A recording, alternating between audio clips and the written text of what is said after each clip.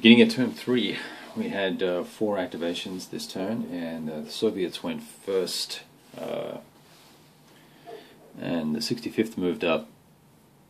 And because they had some units who were stationary, uh, these two guys here had arrived there last turn.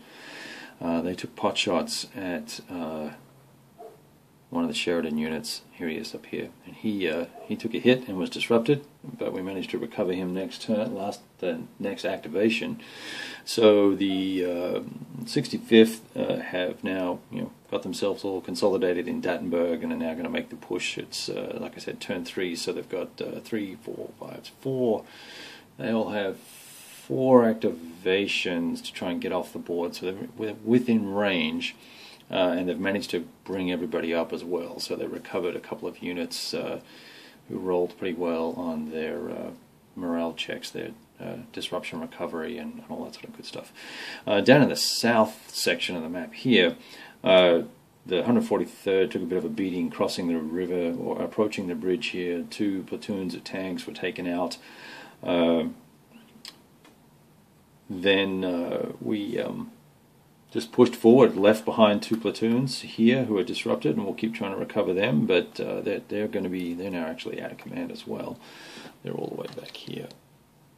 Can't see that. There they are there. So they're out of command and disrupted.